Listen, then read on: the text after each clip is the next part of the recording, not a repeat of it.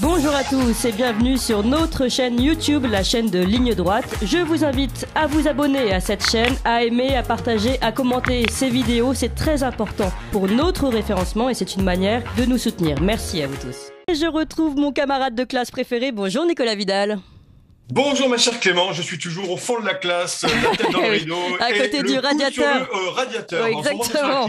Comme toujours, bravo euh, Nicolas Vidal, fondateur de Putsch Media. Alors évidemment, nous abordons cette rentrée, cette euh, rentrée des classes pour Emmanuel Macron hein, qui a quand même passé de bonnes vacances au fort de Brégançon, en se régalant de, de tours en jet ski, on a pu le voir, de bronzades sur la plage.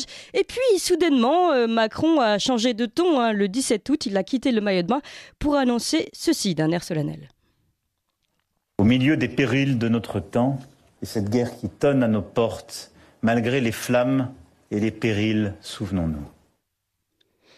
Souvenons-nous, souvenons-nous, la guerre tonne à nos portes. Et un peu plus tard, le 24 août, en sortie euh, du Conseil des ministres, Emmanuel Macron, là, nous parle du point de bascule.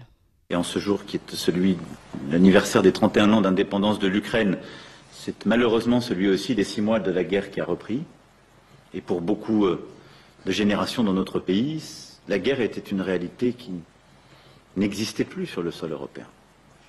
De la même manière, la crise climatique, avec toutes ses conséquences, sont là, perceptibles. Et de nouveaux risques aussi apparaissent, ces derniers jours l'ont montré, comme le risque cyber. Ce tableau que je fais là, cette fin de l'abondance, cette fin de l'insouciance, cette fin des évidences, montre que c'est au fond une grande bascule que nous vivons, face à laquelle, évidemment, nos compatriotes peuvent réagir avec beaucoup d'anxiété. Et donc, face à cela, je pense que nous avons quelques devoirs.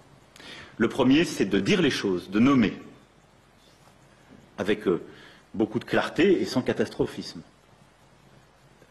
Nommer le fait que notre liberté, le régime euh, de liberté de vie dans lequel nous nous sommes habitués à vivre, a un coût. Et parfois, quand il faut le défendre, peut supposer des sacrifices, en tout cas d'aller au bout de certaines batailles à mener. Nicolas Vidal, vous avez compris, vous, cette rentrée euh, soudainement sous le ton solennel, presque guerrier. Euh, c'est la fin de l'abondance, la fin de la souciance, des évidences, une grande bascule. La guerre tonne à nos portes. Comment vous l'avez compris, vous, cette, ce, ton soudainement euh, très grave du président? Bah, Déjà, vous l'avez dit, Clémence, sur la forme, c'est le ton. Rappelez-vous, hein, Macron nous fait ça depuis le début du Covid en permanence. Il a le mmh. ton grave. Il a parlé de la guerre. Rappelez-vous le discours. Je crois que c'était à Mulhouse. C'était en avril 2020. Euh, derrière une tente de Quechua kaki euh, de mauvaise de mauvais apparat. Et Emmanuel Macron, après, vous l'avez dit, après avoir fait du jet ski et euh, Brigitte et fait, elle a fait du toy water apparemment. C'est un sous-marin électrique. On se retrouve avec Emmanuel Macron, encore le, caleçon dégoulinant de, de l'eau de la piscine de Brégançon payée par nos impôts, venir nous dire c'est la grande bascule, venir nous dire que la guerre tonne à nos portes et, et, et tout ça euh, continue finalement à jouer. Mais je crois que la gouvernance de la peur, vous en parlerez tout à l'heure euh, dans, la, table ronde, mais vraiment, c'est ton 7h45 à 8h20.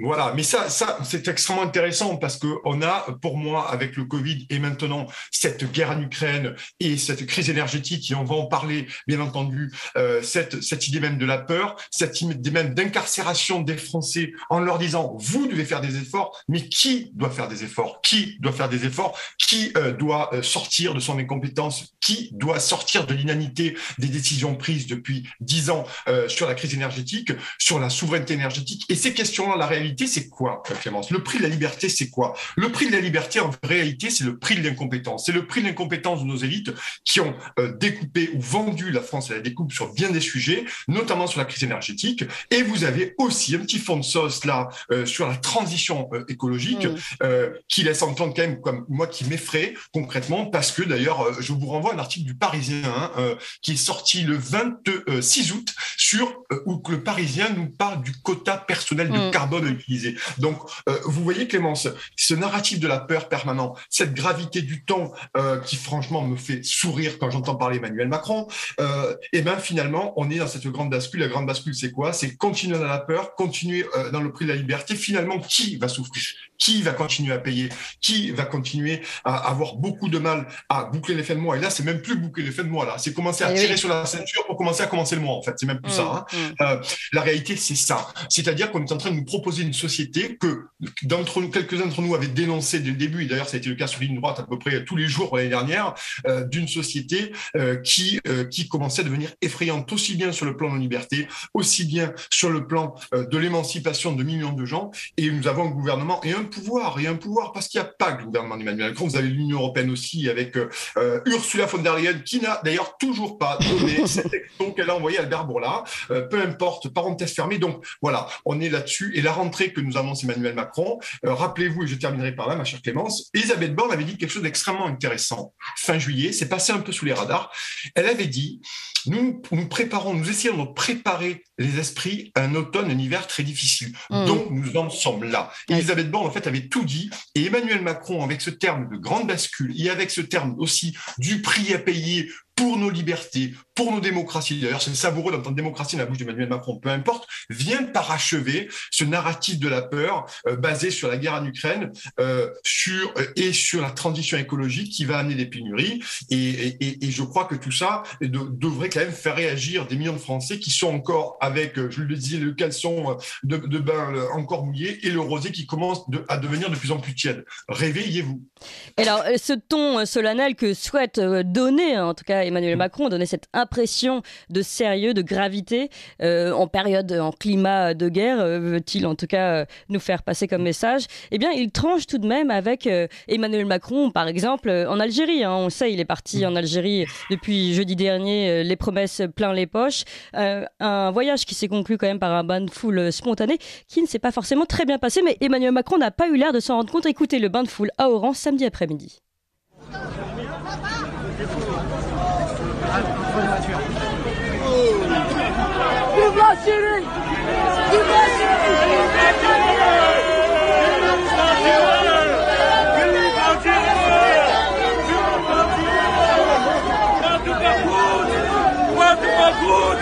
Vive la Bon, alors c'est pas très clair et je vais être obligé de, redire euh, ce gros mot, évidemment. Va te faire foutre, viva enculé. Voilà ce qu'a pu entendre Emmanuel Macron à Oran. Emmanuel Macron qui est pourtant allé au devant de la foule en disant merci, merci. Donc a-t-il vraiment euh, compris ce qui se passait?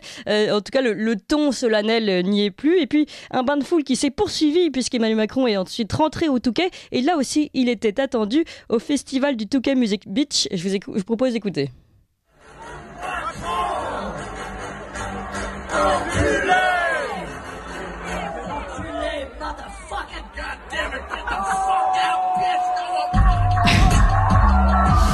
Voilà une ambiance particulière au festival d'électro du Touquet où était présent Emmanuel Macron hein, sur scène donc euh, l'artiste Marc euh, Rebillet qui a couvert Emmanuel Macron euh, d'insultes. Gêne évidemment hein, chez les organisateurs et pour cause sur place le président entendait tout. Voilà comment a été accueilli donc Emmanuel Macron au Touquet hein, dans sa, propre région. Nicolas Vidal là on n'est plus tout à fait dans l'air solennel que souhaite donner Emmanuel Macron ah, mais c'est l'abondance de l'insulte, là, ça c'est sûr et certain. Là, il fait l'abondance de l'insulte Emmanuel Macron. Mais pour en revenir au premier point, moi je me suis demandé, mais qu'est-ce que va faire Emmanuel Macron en Algérie? Hmm. Parce qu'on n'a pas très bien compris. D'ailleurs, on a du mal à avoir des informations quant à ça. C'est pas pour le gaz, c'est pour si. Euh, il y a un peu de repentance au milieu, il y a un peu d'équilibre, il y a un peu de faire face à la vérité historique. Enfin, il y a toute cette espèce de langage technocratique que nous sert le Quai d'Orsay et euh, euh, euh l'Élysée. Donc on a du mal à faire un peu le tri et, et d'y trouver ces petits la réalité, c'est quoi? C'est mon analyse, un hein, langage que moi, bien entendu, mais je pense qu'Emmanuel Macron est allé, bien sûr, en Algérie euh, pour aller négocier du gaz. voilà ce que je pense de cette hmm. histoire. Il est allé négocier du gaz parce que Macron, qu'est-ce que c'est? Je le dis cette antenne depuis un certain temps. Bon, euh, Macron, c'est le banquier des mauvaises affaires. C'est absolument, vous savez, il était banquier d'affaires et c'est vraiment le, le gars qui fait des mauvaises affaires en permanence. Et Emmanuel Macron, pour moi, euh, il est allé dealer en Algérie, euh, finalement du gaz. D'ailleurs, euh, euh, étonnamment, les Italiens avaient déjà eux-mêmes préalablement négocié avec le gouvernement algérien de l'apport de gaz. Donc on nous dit que non, mais même, même si c'est le cas, ça sera pas suffisant. peu importe. Moi, pour moi, il était en Algérie pour négocier du gaz et dans un deal, parce que c'était le banquier de mauvaises affaires, dans un deal, il faut y mettre une contrepartie. Mmh. Donc il y a mis un peu de repentance. Donc il y a mis un, peu, de visa aussi. Voilà, un peu de visa, de visa pour les étudiants. bien entendu. Mm. Vous avez bien fait de le rappeler, euh, les, les, 30 000 jeunes avec Divisa. Donc, on y a mis aussi euh, cette espèce de commission mixte d'historiens français algériens pour essayer de faire un peu la lumière, parce qu'avant, pour se réconcilier, il faut avant se fâcher. On a attendu des choses quand même délirantes. Et Emmanuel Macron, et puis alors l'aéropage avec lequel il est allé, c'est formidable. Hein. Euh, il est allé avec un aéropage de start-upers, mm. d'influenceurs. On a eu, on a vu aussi Arnaud Montebourg. Là, c'était assez, c'était assez éloquent. Bon, bien sûr, après tous les journalistes de cours qui étaient là pour prêcher la bonne parole. Enfin, ils ont quand même été de dire qu'il s'était fait insulter au rang, euh, de rien. Donc, finalement, ce déplacement d'Emmanuel Macron, il, est en droite ligne, euh, sans mauvais jeu de mots, ma chère Clémence, avec le, début de l'émission. C'est-à-dire qu'en fait, ces gens sont en train de payer le prix de leur incompétence, ou nous allons le payer, les millions de Français vont le payer, et maintenant Emmanuel Macron, vite, vite, dans la précipitation, essaye d'aller en Algérie, va en Algérie, pardon, pour essayer aussi euh, de gratter un peu de gaz pour éviter que ça soit trop dur. C'est une partie de l'analyse parce qu'en la réalité, c'est que personne n'est capable de dire pourquoi Emmanuel Macron D'ailleurs, moi, je suis très étonné. Il, fait, il se fait insulter à rang. Il l'entend très bien. il y a eu des images hostiles. Il y a eu des images hostiles. On a vu des drapeaux français décrochés, brûlés. D'ailleurs, certains macronistes ont coupé la vidéo en laissant un individu agiter un drapeau français qui, euh, une seconde plus tard, allait être jeté par terre. Bon, peu importe. Finalement, Emmanuel Macron lui-même a prolongé son séjour vendredi en fin d'après-midi pour rester jusqu'à samedi pour aller signer une espèce de charte d'irréversibilité de l'histoire qui ne veut absolument rien dire. Donc, je pense que finalement, tout ça est, est absolument dingue. Et puis après, il y a eu deux choses. Je ne sais pas si vous l'avez noté, mais très certainement, euh, Clémence, avec votre sagacité, vous avez eu un Emmanuel Macron qui s'est retrouvé dans, dans une vidéo euh, selfie, selfiesque, j'ai envie de dire, avec euh, avec le disquaire, en fait, un truc de DJ Snake. Tout à fait. Mais ça n'avait ni queue, ni tête, ni pochette de CD. C'était absolument Mais peut-être pour finir sur une touche positive après le, le bah, orange. Et, alors, la touche positive, je vous, je vous la réserve, la touche positive. Vous allez voir, elle est sympa celle-là. Et, et quand il est parti, Emmanuel Macron, il s'est retrouvé avec la garde algérienne et sous euh, un champ du FLN. C'est absolument formidable. il s'est fait. insulter tout le temps et il continue à se faire insulter. Et puis même en montant dans l'avion jusqu'à la dernière marche, euh, il manquait plus que Joe Biden au milieu. Il se continue à se faire insulter. Enfin, euh, je, veux bien qu'on, je veux bien à un moment donné qu'on fasse preuve en cette début d'année de sagacité, de mesure, mais tout de même ce déplacement en, Algérie mm. est, à bien des égards très problématique et pose beaucoup de questions. Mais finalement, on est dans ce que c'est faire Emmanuel Macron, c'est-à-dire un banquier des mauvaises affaires qui va dealer un truc vite vite quitte à y mettre l'honneur de la France au milieu. Et en plus, il revient dans l'avion, il n'a rien, parce que le quotidien algérien il revient bredouille. Voilà, revient absolument bredouille. il faut écouter le média algérien sur l'analyse de la visite d'Emmanuel Macron. Je vous propose qu'on l'écoute, Nicolas Vidal, justement, ce média algérien qui, lui, dresse un bilan un petit peu différent de celui qu'on pourrait entendre, par exemple, sur BFM TV. Écoutez. Beaucoup d'espoir accompagnait la visite du président français Emmanuel Macron en Algérie sur le plan économique. En témoigne la ribambelle de chefs d'entreprise homme d'affaires, consultant économique ou encore jeune acteur du secteur du numérique, venu sans doute pour prêter main forte au ministre de l'économie Bruno Le Maire dans sa quête d'un second souffle dans les relations bilatérales. Mais force est de constater qu'Emmanuel Macron et son ministre retourneront à Paris les mains vides, car aucun accord ni contrat n'aura été signé entre les deux parties au terme de cette visite, qu'il s'agisse d'énergie, d'investissement ou de commerce direct de biens et services. Voilà, bon bah ça le mérite d'être clair hein, du côté algérien. Euh, Emmanuel Macron partait avec euh, une volonté de contrat, vous l'avez dit, gazier notamment, et il repart évidemment euh, les poches vides. Et ça c'est pas tout à fait ce qui nous est en tout cas prêché sur différents médias. et puis encore une fois, c'est ce qu'on disait, hein, ça tranche carrément avec le ton, le ton sérieux, le ton solennel du président de la République de, de Borm les Mimosas, celui du, de la sortie du Conseil des ministres du 24 août. Là, on est vraiment, comme vous le disiez, sur un banquier de mauvaises affaires, euh, presque un, guignol hein, qui, a été moqué euh, lors de ce voyage.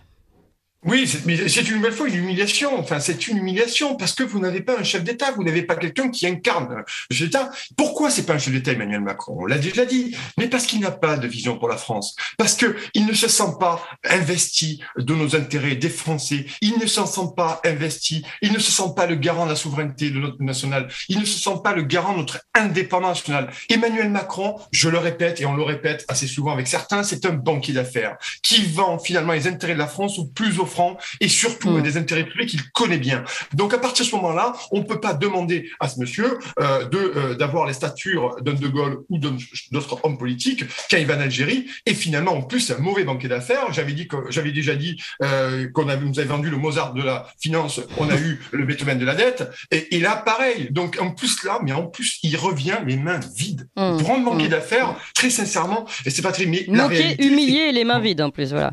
Bien sûr, mais et, concrètement, donc on nous a apparemment c'était un génie chez Rothschild, mais apparemment enfin il a beaucoup il a, il a beaucoup désappris Emmanuel Macron, il a beaucoup mmh. oublié. Mais euh, ce qui ce qui est grave, c'est que beaucoup de communication autour de ça, mais euh, c'est qu'on va on part au plus précis aujourd'hui et euh, je pense qu'on va en parler. Mais ce qui attend les Français à la rentrée va être terrible, ce qui attend les Français dans les prochaines semaines va être terrible et beaucoup ne s'en rendent pas compte. Qu'est-ce que ça augure finalement cette, cette rentrée du président Qu'est-ce que ça augure pour nous Français à votre avis, Nicolas Vidal?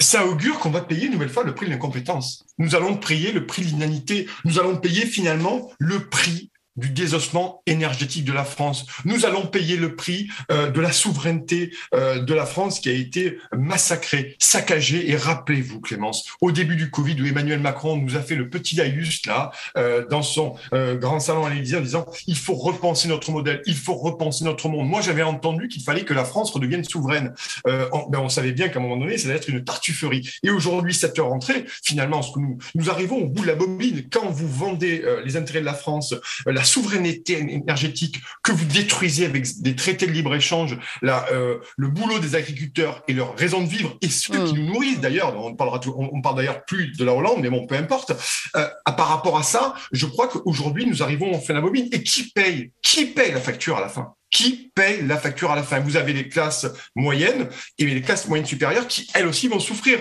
Je, nous en parlons, nous en parlons, je crois que nous en avons parlé en avril euh, sur votre plateau, la pénurie des chauffeurs de bus, la pénurie des, conducteurs de bus RATP, euh, la pénurie énorme dans les crèches, toute une série de secteurs, je ne parle même pas des hôpitaux, bien entendu. Des soignants, des professeurs, oui, tout à fait. Voilà, des, professeurs. Des Incroyable aujourd'hui, vous avez des professeurs qui ont été formés pendant 4 heures, mais c'est mm. la formation Kinder Bueno, je suis désolé de le dire, les amis. Quoi. Vous allez avoir des gens qui ont jamais été devant des élèves qui n'ont aucune référent pédagogique, mais c'est normal. Ils qui en quatre jours ont été formés à la va-vite avec euh, un ticket resto et trois blagues carambars pour essayer d'un moment donné euh, de faire d'émanciper ces élèves et leur apprendre un truc. Voilà, ce pays étant plein effondrement. Et euh, l'humiliation vécue par Emmanuel Macron euh, en Algérie sur la scène internationale, c'est une nouvelle humiliation. C'est une véritable nouvelle humiliation. Il avait déjà été humilié il y a quelques temps, rappelez-vous, en février par Vladimir Poutine. On peut en penser ce qu'on veut, mais été une véritable humiliation. D'ailleurs, il ne savait pas renter. Et là, carrément, on, on a une véritable humiliation. Voilà un peu euh, mon analyse, ma chère Clémence. Merci beaucoup, cher Nicolas Vidal. Très heureuse de vous retrouver, en tout cas toujours avec le Verbe haut. Et on vous retrouve de nouveau le jeudi, tous les jeudis. Je rappelle que vous êtes fondateur de Putsch Media. Vous appréciez cette émission Alors aidez Radio Courtoisie à en produire d'autres en indépendance totale. Rendez-vous sur soutenir.radiocourtoisie.fr. Merci d'avance.